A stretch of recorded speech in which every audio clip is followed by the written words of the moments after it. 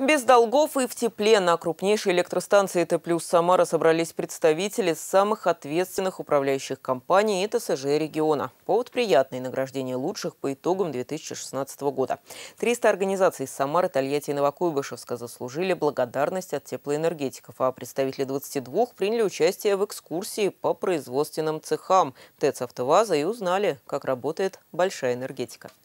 Работать без долгов в сфере ЖКХ можно и нужно. Это доказали более 300 организаций региона. Они своевременно рассчитываются с поставщиком тепла.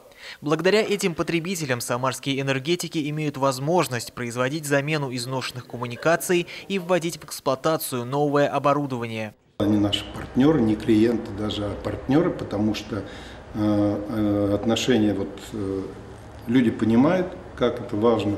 Люди своевременно, добросовестно выполняют закон, э, оплачивают ресурсы.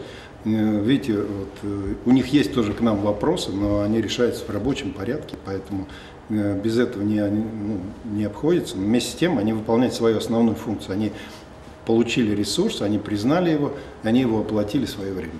Компания работает с 2009 года в Тольятти, и мы ни разу не банкротились, не ликвидировались, не реорганизовывались. Соответственно, все наши отношения выстроены с ресурсоснабжающими организациями, в частности, э, в протяжении последних лет у нас никаких, скажем так, э, просрочек, ну, скажем так, свыше текущего у нас не, не, нету.